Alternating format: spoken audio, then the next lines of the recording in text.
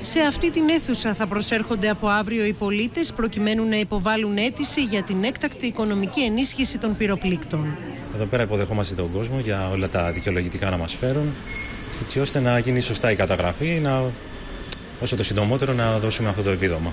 Πρέπει να έχουν το αθυμί, την ταυτότητα, ε, του μηχανικού την ε, αυτοψία, της ΔΕΗ τον λογαριασμό ή το ε1, αλλά ακόμα δεν είναι κάτι το οποίο είναι σίγουρο. Το επίδομα ανέρχεται στις 5.000 ευρώ ανακάτοικο. 6.000 ευρώ δικαιούνται οι τρίτεκνες και πολύτεκνες οικογένειες και 8.000 ευρώ οι επιχειρήσεις. Οι πληγέντες θα λάβουν και έκτακτο βοήθημα ύψους 586 ευρώ για την κάλυψη των πρώτων αναγκών τους.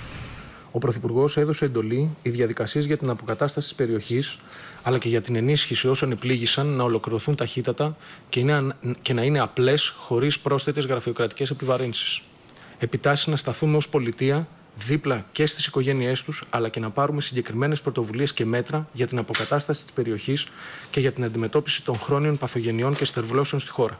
Οι αιτήσεις θα υποβάλλονται καθημερινά από τις 8 το πρωί έως τις 8 το βράδυ στο Πνευματικό Κέντρο Ραφίνα, στο Κλειστό Γυμναστήριο Μαραθώνα, στο Καπί της Κινέτας και στο Υπουργείο Υποδομών. Η καταστροφή είναι του περιβόλου χώρου, όχι του σπιτιού ευτυχώς. Πολύ λίγα γράμματα, κάτι πατζούρια και δόξα τω Θεώ είμαστε ζωντανοί. Τα δικαιολογητικά που πρέπει να έχουν μαζί τους οι πληγέντες είναι αποδεικτικό ότι η πληγήσα κατοικία τους ανήκει, αντίγραφο φορολογικής δήλωσης, αντίγραφο εντύπου ε9, καθώς και το πόρισμα της πυροσβεστικής υπηρεσίας. Νομίζω σε, σε πρώτη φάση ε, να μην γκρινιάζουμε.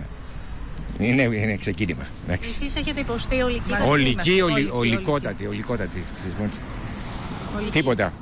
κύρια κατοικία. Κύρια κατοικία, ναι. Όλα τα επιδόματα είναι ακατάσχετα και αφορολόγητα. Από το Υπουργείο Εργασίας χορηγείται οικονομική ενίσχυση 10.000 ευρώ σε συγγενείς των θυμάτων. Θα καταβληθεί μηνιαίο επίδομα ύψους 1.000 ευρώ στα παιδιά των θυμάτων. Στους πυρόπληκτους συνταξιούχους αλλά και τους ανασφάλιστους υπερήλικες θα καταβληθούν δύο μηνιαίες συντάξεις μέχρι τις 20 Αυγούστου. Στους ανέργους και σε όσους έχασαν την εργασία τους από την πυρκαγιά, χορηγείται επίδομα ανεργίας ή εφάπαξ επίδομα ύψους 650 ευρώ. Παράλληλα, επισπεύδονται οι αιτήσεις συνταξιοδότησης που έχουν υποβληθεί ή θα υποβληθούν από πυρόπληκτους έως τις 30 Σεπτεμβρίου. Ναι, συμπληρώνω αίτηση. Κάει και ο περιβάλλον χώρος και μου είπανε να κάνω μία αίτηση. Έχουμε ταλαιπωρηθεί πάρα πολύ. Εγώ αισθάνομαι δηλαδή εξουθενωμένη. Δεν έχουμε καθόλου ρεύμα, δεν έχουμε τηλέφωνο. Για τους ελεύθερους επαγγελματίες και τους οφειλέτες προβλέπονται ρυθμίσεις και διευκολύνσεις που αφορούν στις ασφαλιστικές τους εισφορές. Από το Υπουργείο Ψηφιακής Πολιτικής θα χορηγηθεί εφάπαξ επίδομα ύψους 1.200 ευρώ για την ετήσια κάλυψη των τηλεπικοινωνιακών αναγκών των πυροπλήκτων.